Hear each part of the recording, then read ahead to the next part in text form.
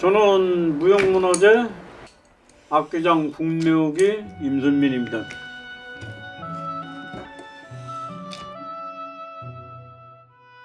제가 일 들어서기 시작한 길은 11살 때부터 시작을 했으니까 63년째 지금 이 길을 걷고 있는 거죠.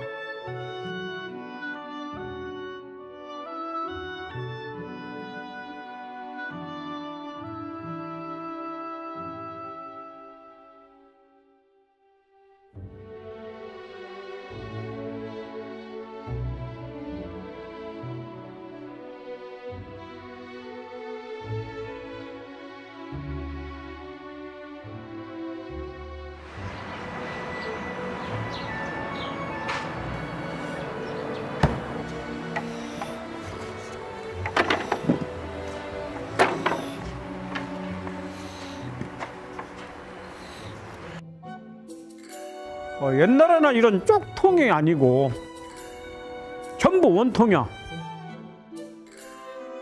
짝으로 겉을 둥그렇게 깎고 이 속을 파내고 예, 이제 그거를 이제 일찌감치 이제 그 선생님들한테 배우고 짜고 꼴 많기 이제 이걸 가지고만 이제 그렇게 하다 보니까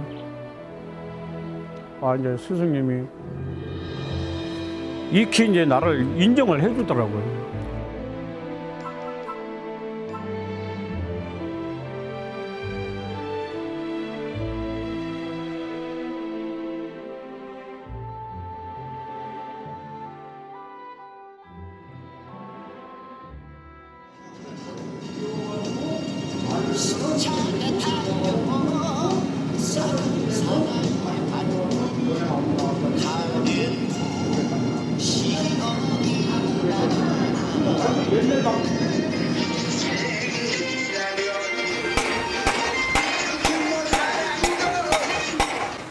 어, 이제 그때는 이제 사춘기 때인데 사춘기도 모르고 지나간 거야. 이거 뭐 공장에서 먹고 다니까.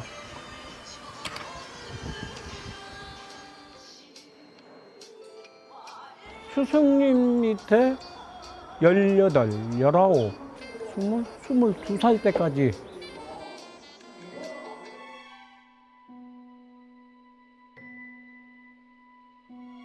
그렇게 했는데 스승님이 어느 날 갑자기 이제 몸이 아프기 시작하더니만은 불러앉혀놓고서 하시는 말씀이 그거예요.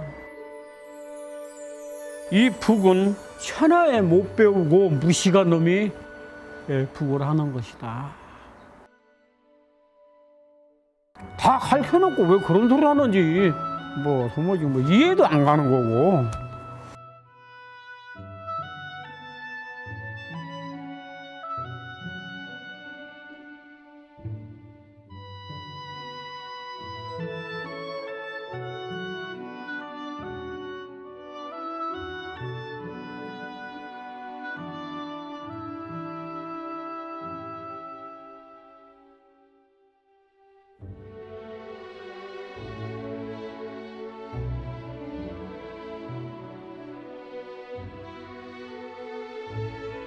나보다 잘 만든다 하는 사람만 들어오면은 찾아갔어요.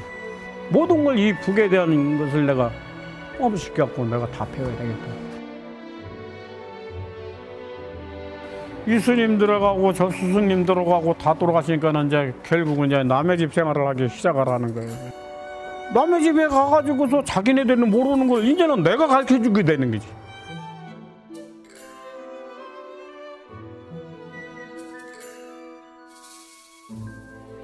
그래서 이제 이 떠돌기 시작을 한 것이 너무 애처로워가지고 차라리 머리나 깎고 죽이나 되자. 첫눈에 딱 보이는 거 절처마. 절 처마 양쪽 내구 구퉁에는 그 용수의 용머리가 이렇게 딱.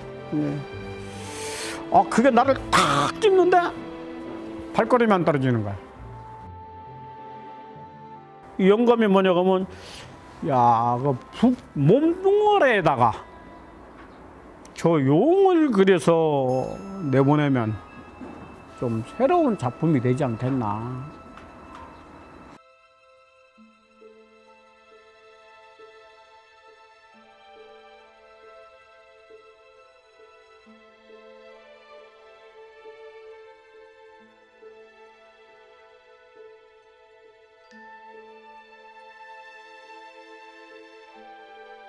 공방욕을 시작한 지가 5년 차야. 남의 집 생활 51년 만에 내가 할 수 있으면 하고 쉬고 싶으면 쉬고 어디 가고 싶으면 갈 수 있는 그 시간을 갖고 있다는 거지.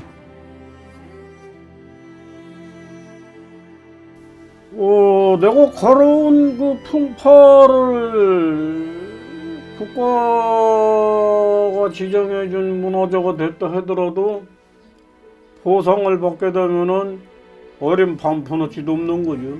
그러나 어, 지정을 해줬으니까 어, 또 이제 거기에 맞게끔 좋은 작품을 만들고 세상을 떠도 좀 편치 않겠다 그런 생각이 들어요.